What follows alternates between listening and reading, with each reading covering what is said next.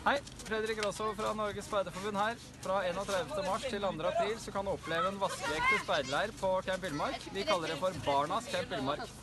Hos oss så kan du slå gnister med tennstål, du kan eh, kaste livline, øve på førstehjelp, lære deg å spikke, sage litt ved, hva med å pakke sekk sammen med speiderne. Masse ting som foregår. Eh, Innendørs kanopadling. Alt dette her og mer til kan du oppleve på Barnas Camp Villmark. I lavvoteltet vårt så kan barn og voksne slå av en prat om det å være speider. Eh, Husk at dersom du allerede er speider, så kommer du gratis inn, bare du har med speiderskjerfet og har det rundt halsen. Da ses vi på Barnas Camp Villmark 31. mars til 2. april.